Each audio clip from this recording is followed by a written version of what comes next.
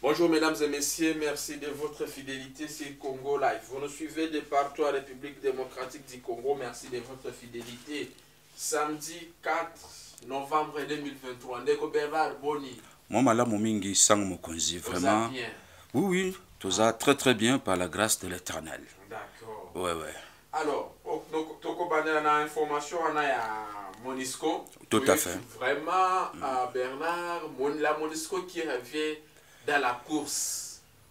La Monisco veut combattre aux côtés de l'armée congolaise. Ils annoncent des opérations conjointes au cas où lm M23 tente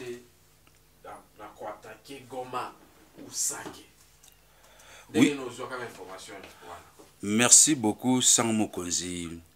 Avant d'abord tokota na b'actualité na biso na banda na okumisa nkolo ndenge lisusu apesi biso lisusu makasi euh, ya komona esu tongo lelo samedi eza ngolu moko ya monene et ça c'est un et deuxièmement aussi nalingi na loba mwa lisese moke mpo na bacompatriote oyo balandaka biso e, eza ke soki omoni moto azosala maye manso bozongana au moment où bato nyonso bayebi ke asalaka yo mabe epuis azokontinue kaka kosala yo mabe wana il faut sala attention parce que mission na ye eza lisusu koboma yo to kokontinue lisusu ou bien koaccentue lisusu mabe oyo amesana kosala c'est ça nazongeli lisusu bolanda ngai bien soki omoni moto azosala maye manso azongisa lisusu relation bozalaka yango yo na ye au moment où bato oyo baza pembeni bayebi bien ke moto wana amesana kosala yo mabe epuis azokontinue kaka kosala yo mabe wana efosala attention parce que aye na double casquette tantôt koelimine yo tantôt koaccentue lisusu mabe mpo comprendre que voilà ye aza maître kaka ya baje c'est ça monsieur le journaliste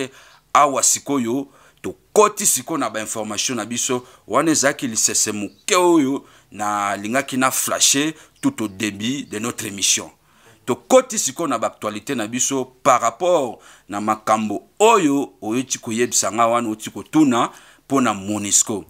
kote na biso tozo regrete mingi kutu na bagomatracie ebele lobi nazwaki baapele kilikili ya 4 coin du monde bazoloba ke ne sont pas pour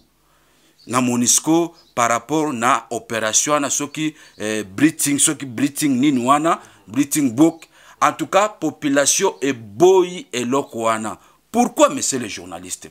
toza awa na kati ya goma tomoni tosi toyeba baaventure oyo monisco esalaka ils étaient où depuis tout ce temps mpo baya na opération wana pour dire ke baza bato oyo baza na agenda cache biso toza sire na ba fardc na biso toza sire na bacompatriote na biso wazalendo monisco esi ezwi soni emoni ke kala tro te awa ba le 20 décembre il faut balongwa na congo alors leur objectif il faut kaka batala ndenge nini bazongisa lisusu coopération na congo epuis baaccentue ndenge nini m23 ekokota biso peuple congolais toboyi eloko wana toboyi toboyi parce que on a beaucoup d'exemples à commencer par le EAC bayaki awa ils ont failli à leur mission alors à quoi bon lisusu ya ko renouveler lisusu opération moko boye mpo eh, bamona ndenge nini gome ekozala sécurise non non biso toza na seul objectif ya kosécurise goma na biso nyonso mobimba province ya nord kivu nyonso mobimba nde yango tozobeta rebel butu na moi en tout cas toboyi makambo wana ya monisco parce que bango en tout cas bazalaka na double casquette misio oyo bayelaki bazokoka yango te jusqu'à preuve du contraire m23 si akotaka awa na ba 2013 basalaka nini epuis lisusu toza na bapreuve baimage mosusu kaka bango wana nde bamemelaka monguna baminduki lelo oyo eloko nini oyo eye koanime bango ke bango bamoni ba, ba, ba, ba, ba bien eh, na operation wana mpo na kosekirize goma c'est une façon de nous distraire c'est une façon de nous distraire cher congolais bato wana toboyi bango ba monisco bakende na operation na bango tosi tolembi tosi tolembi toza na armée na biso fardc toza na bacompatriote na biso eh, bacompatriote na biso wazalendo baye komona ke peuple congolais nyonso aza mobilise vis-à-vis na mboka na ye vis-à-vis na kolibere mboka na ye nde yango wana babandi kosala lisusu baje wana babandi kocreye baoperation moko songolosongolo mpo baetouffe biso mpo baintimide biso bamona ke voilà ce sont te qui ont vraiment eh, l'amour du congo non non non ça c'est du mascarade c'est du mascarade peuple congolais tolanda baaventure wana ya monisco te toumeli na bango toute une vingtaine d'années toza na bango eloko moko te bayela biso kimia te apart kaka kosakanasakana na biso kokotela biso bapolitiki moko boye ya kozongisa mboka na biso nsima nde kaka mission na bango en tout cas toboyi toboyi baopération ba wana tozosenga na bamampinga na biso baselese fere te bazala liso likolo ya liso parce que monisco jusqu'à preuve du contraire azo azodigere bien te kokende na ye azosala maye manso amona ndenge nini akofanda lisusu une année to deux ans to trois ans na kati ya congo parce que bamona koto oyo nde miliki ezali miliki ezali na kati ya congo alors bazolela butu na moi ndenge bazokende en tout cas monsieur le journaliste toboyi baopération yana sprickenborg soki basprickenborg wana baopération moko boye eza ta na ntina te na, na matoi ya peuple congolais peuple congolais elingi ba fardc na bango na wazalendo c'est tout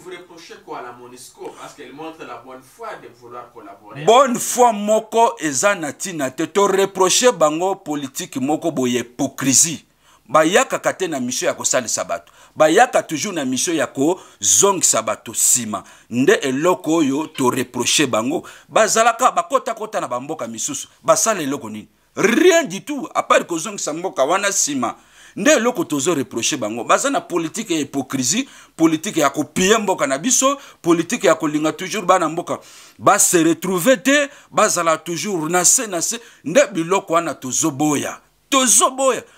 eleki ata bambula ebele te tozwaka monisco na bamunisio moko boye tout neuf bana goma kuna bakoteya kanyaruchina bazwaka bango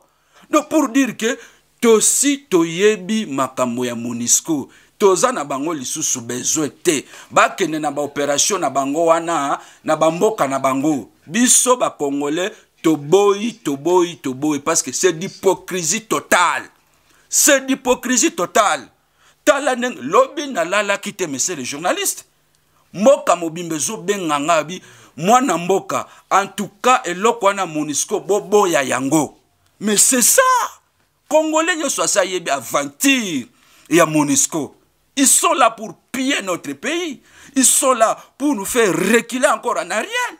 C'est ça, monsieur le journaliste. À quoi bon de conjuguer encore ensemble avec ces gens-là Ils sont en connivence avec des rebelles, ils sont en connivence avec beaucoup de choses qui font reculer notre pays en arrière, papa. En tout cas, tu boy opération wana.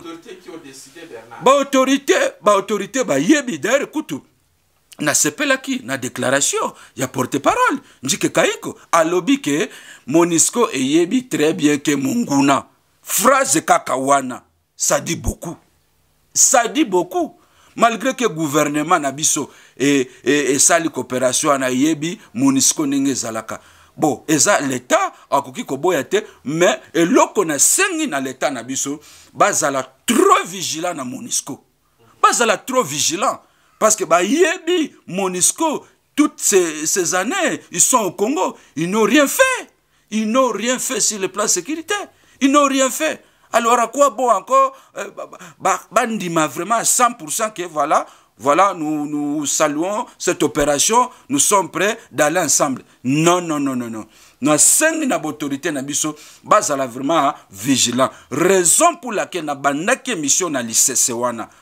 pour dire que moto oyo azoluka kaka maye manso bozongisa relation oyo ezalaka au moment au monde entier eyebi ke motu wana asalaka yo mabe epuis azokontinue kaka kosala yo mabe il faut kosala attention na motu wana parce que aye na misio sikoyo double par rapport oyo azalaki nango liboso c'est ça monsieur le journaliste vraiment l'état na biso emona ndenge nini bako étouffe opération wana parce que jusqu'à preuve du contraire tala ndenge bacompatriote na biso bazosala mosala bafardc na biso d'ailleurs kutu bauti susu koneutralise charge ya sécurité ya smb ya mwanga cucu donc omoni ke mosala ezosalema mosala ezosalema ye wana atikali sikoyo engrais naturel kuna na zamba bacompatriote na biso baneutralize motu wana donc pour dire que toza na posa lisusu ya baforce mosusu te lokola bamonisco wana lokola ba eac ba eac kutu nde en tout cas potopoto moko ya kosakana te monsieur le journaliste en tout cas potopoto nalandaki officier moko boye ougandais azoloba clairement na m23 alobi ke botika bitumba oyo bokokoka jamais rdc te na lire oyo mboka oyo esi ezwi determination ya kolibere eh, province oyo ya nord kivu bokoka yango te epuis en allant encore plus loin officier na alobi ke oyebi ke mukwa ntombolo faci beton le président le wen de dieu aza lion d'afrique yebisa nga officier mobimba ya étranger ya mboka mosusu ayebi ke président de la république faci beton aza mutu moko boye bakokaka ye te parce que aa na mandat te na kati ya kongo ande na mission tala bapropos ya officier ya mboka mosusu azoloba azo bongo pour vous dire que toza capable ya kose sécuriser toza capable ya kose prendre en charge c'est une question de détermination surtout na amour ya mboka surtout na amour parce que soki amour ezali na makambo nyonso ekokende bien alors bato wana bakende na bango le 20 décembre bakanga bisaka na bango bazonga eloko te ya malungo basaleli biso apart komontaka ko toujours bastratégie ndenge nini bakopie mboka ndenge nini bakozongisa uh, bainstitution na biso nsima ndenge nini bakokweyisa motu moko songolo c'est ça leur plan C'est ça leur plan, monsieur le journaliste. Vraiment, toboyi, toboyi, toboyi, parce que tous un exemple, il y a EAC, comme on a nini yaki, et comme il la convivence, na rebelle, et bango wana lisusu kaka baofficier ogande bakomi koloba ke botika aventure oyo ya bitumba d'ailleurs kutu kagame aza nde na mission ya kostermine bino stratégiquement tala bapropos ya officier wana ogande pour vous dire que na bogande wana na ba eac wana kati na bango basi baboni ke bakokoka operation mission na bango te bakokoka yango te bamoni ndenge congo eza uni à ce qui concerne affaire ya mabele baza totalement unis wana eza officier uganda oyo alobaki bapropos wana epuis akeli suplilu alobi ke politique ya félix antoine tshisekedi le président le plus costaud d'afrique alobi ke bokokoka politique na ye te parce que motu wana aza lion d'afrique baprésident ba, ba, ba, ba ebele bazobanga ye par rapport na diplomatie oyo azosala par rapport na politique oyo azosala alors en tout cas je ne vois pas bien de conjuguer encore ensemble avec la monisco parce que depuis baza wana eloko moko ya malunga tomona te apart kaka kopansaka ndenge nini Congo et Kozala balkanisé, Congo et Kozonga Sima. C'est ça, monsieur le journaliste. C'est ça. Oui, c'est grave. C'est grave, en tout cas, on ne peut pas se laisser faire vis-à-vis de la Monesco, dans ma déclaration. On n'a on a pas besoin encore de l'accompagnement de la Monesco. Tolembi, Tolembi, fortement. Tolembi, Tolembi. Vingtaine d'années, Bazali Awa. Ni Nyoyo Basalite. Ni Nyoyo. Et l'autre, ata moko malunga te, Basali. Et l'autre, ata moko malunga te. Tala toujours. ah, omoni eloko ezotinda ngai naloba bongo parce que bazwazwa bango na bainfraction ebele malgré ke elekanaka nango te balobaka te kaka na bachaîne lokolo bacongo live tv ndo torevele bamakambo oyo parce que baradio ya awa okoyoka babiloko ya boye te ya moto moto barevelation ya minene ya boye okoyoka yango te biso tomipesa corps et ame tosa tobundela mboka na biso todefendre yango na kotiaka barevelation ya boye libanda pour que peuple congolais ecomprendre eyeba niveau nini mboka na ye ezokende emona combien de fois ke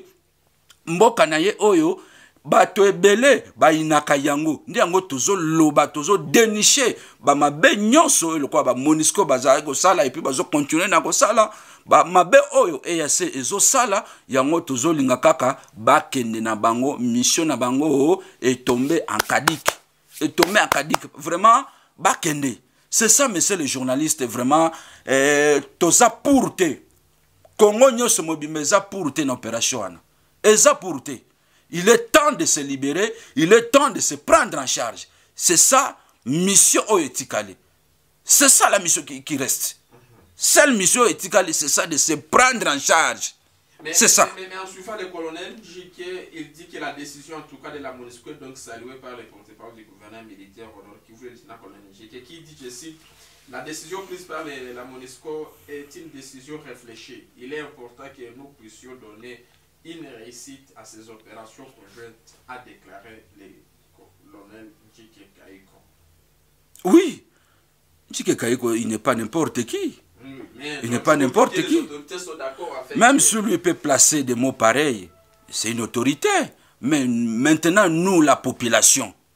c'est là où nous sommes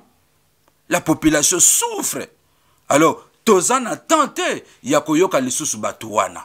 ya koyoka lisusu bato wana dayare kutu monisco ese ese constate ke kote ya m23 baza lisusu na force te sur le plan financier nde yango ozomona bazolinga sikoyo baconjugue ensemble bamona ndenge nini bakoede bango 123 en soi financement eza lisusu te tala ndenge kagame akei lisusu na baetats-unis kuna azosenga na barwandais oyo baza kuna basala cotisation basomba bibundeli mpo na kobundisa congo tala pour dire que il n'y a plus de moyen au sein du M23 bato oyo batikali na moyen kaka na M23 eza baterroriste oyo baza ba, ba, na bango mikolo oyo bao wana nde baza na moyen parce que 1 23 en soi tala ndenge baosala badefection chaque jour tozwazwa bango bamanteka bazoserendre oyoki bango boye olandi bango boye osantiri mpena bato oyo liwa kaka bazoloba ke voilà o oh,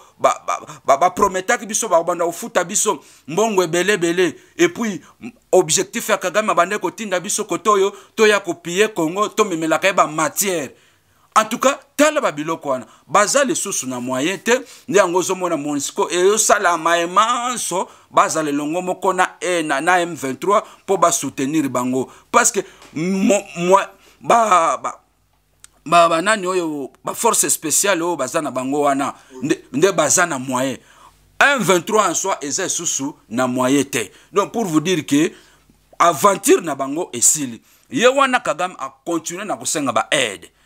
mpo basoutenir ye aya kocombattre kaka congo ata bapesa ye baaide nyonso koya kobaluka baengrais naturel kote na biso na kati ya congo toboyi aventure ya monisco malgré ke porte parole na biso alobaki se na autorité ako avance ka bapropos pareil mais intérieurement na salue phrase wana kutu na sina alobi yango ya koloba ke eh, monisco eyebi très bien le rebelle wana elobi deja kutu ebele d'ailleurs kutu eza lisese parce que ntango tie kaka phrase wana ça dit beaucoup beaucoup monsieur le journaliste ma nyonso bazosala mpo basoutenir rebelle amona ndenge nini ya kokota awa biso bacongolais tozotala toza mpe ekenge makasi e nde c'est pourquoi tolobi toboyi toboyi opération wana toboyi yango vraiment toboyi yango makasi c'est ça